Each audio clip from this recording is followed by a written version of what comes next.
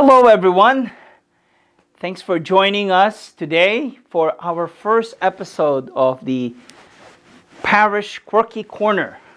And uh, this is a new episode that we're um, starting. And really, what we're going, to, what I would like to do is to just show you around in the different um, places or different areas in our parish. And we're actually um, our first for our first episode today. We are here in the sacristy, all right, at Our Lady of Lourdes. So this is uh, our, our first uh, quirky corner episode. Um, so the sacristy. So this is the priest sacristy, and we actually have a couple of them here at Our Lady of Lourdes.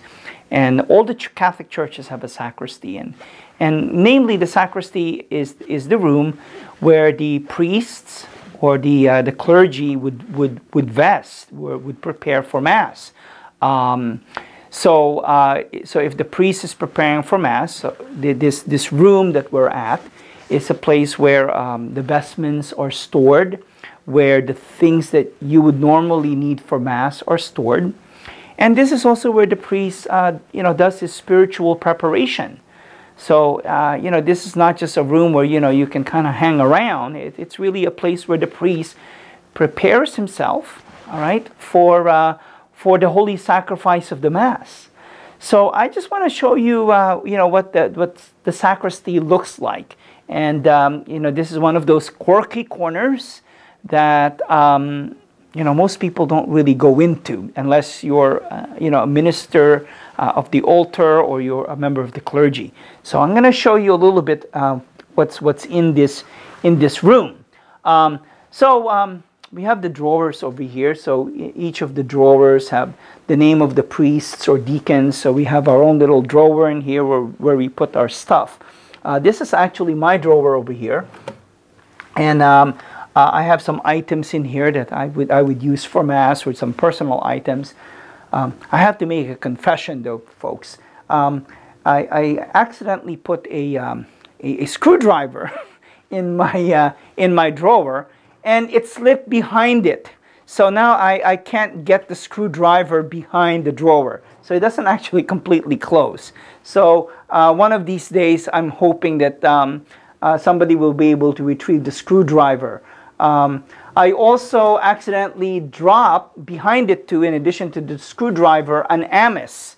So an amice is, um, this is an amice, all right, and this is a cloth that the priest wears over his shoulder, all right, uh, when he puts on his vestments and his alb. So this is what it looks like, and it's, it's actually worn like this, so that it would cover the priest's neck and then he would put on the alb. So anyway, this is an amice, and um, with the screwdriver in the back, I also have an extra piece of amice. So I don't know if any of you are carpenters that can help me out retrieve the screwdriver and the amice, but if you are, I would be grateful, and you can um, maybe someone can help me take it out of where it's stuck behind the drawer. So, uh, so yes, so these are the drawers. Uh oh, I just slipped something behind it again. So there's there's a piece of paper now behind it. Um, I'm not having any luck with this drawer. Um, so we have a whole lot of things that's stored over here. Um, and uh, and we probably will need to do some general cleanup in here because uh, we don't know what's really stored in some of these places. Now here, it looks like we have the way of the cross. So it is Lent. And um, we have different versions of the way of the cross that we use for our Way of the Cross or Stations of the Cross on Fridays. So, um, so each of our churches have uh, different booklets that we use. Uh, you might be wondering what these are. So, um, when our ministers come in to prepare for Mass, they usually would come over here and they would sign this little binder. Um, they would sign in that they are present, either to serve as, a, as an extraordinary minister, or as a lector, or as an altar server. They'd sign up over here, and um, these are their medals that they would wear when they are serving uh, either as a lector or as extraordinary minister. So we have that over here. Okay. Um, we also have drawers over here for the different things that we would need for Mass, um, for benediction and so forth. So these are, are drawers um, to hold the, the things that we would need for Mass. These closets would hold the different vestments that we would use. So as you can see, we have the um, the violet in here that we're currently using now for for Lent. Um, we have the the, the rose-colored vestments that we would use for Laetare Sunday and Gaudete Sunday. The white and the red um, are, are, right here. And um, we also have another similar closet in here. This is where I normally put my stuff and where we have some of the other vestments like the green for ordinary time. So that's that. And uh, Father Joe and Monsignor Tracy, they also have their, their vestments in here and their albs uh, that they would use when they're saying Mass here at Our Lady of Lourdes. Now, um, let me see if we can get the camera taken over here. I want to show you this, this sink over here. Um, so this is not just a regular sink. Uh, very interesting enough. In every Catholic church, you usually have two sinks.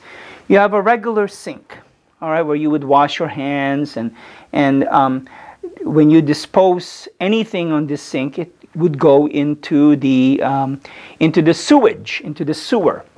There is a, another special sink next to it that they call a sacrarium. A sacrarium. It's a special sink because the the sink does not empty in the um, in the sewage. It empties into the ground. Now, what would be the point of that?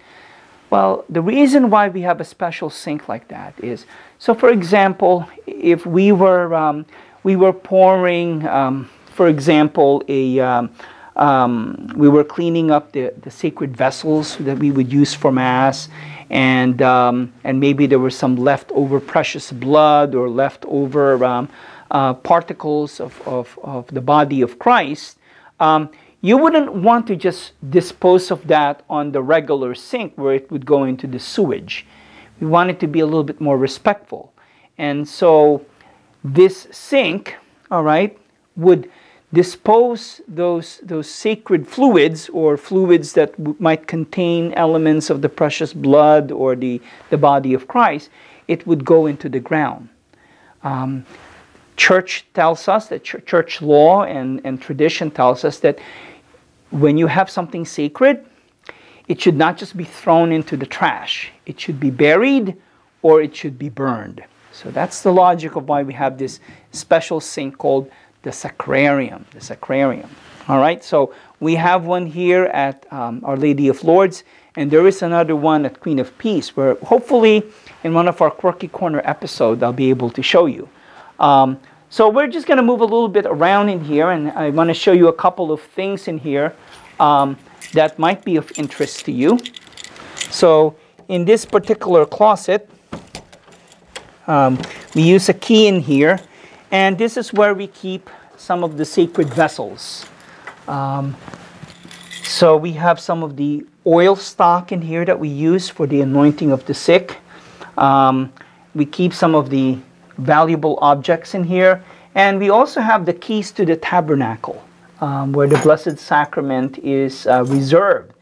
Um, you might know, you might, you may may not know that, but the tabernacles are actually alarmed, and so um, uh, in the diocese of Camden, um, all the tabernacles are alarmed, and so um, even if you have the key to be able to open the tabernacle, you also have to be able to um, to turn off the alarm.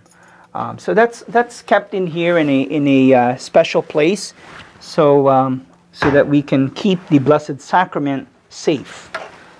Uh, we have more vestments in here. This is uh, the, the, our deacons. Uh, this is where they put their vestments. So these are the dalmatics that the deacons would wear. So that's that's that's what these are. Um, and then we have a little closet in here. I want to show this to you. This is pretty neat. Um, this is the, um, the church bell, all right? Um, so here in Lourdes, we have um, uh, a bell. Uh, I guess it's a speaker bell, but um, we're able to, to the bells are programmed to, to, to, to play during before Mass, before all the Masses. They're also um, programmed to play uh, during the traditional time of the Angelus, such as the 12, 12 noon and the 6 p.m.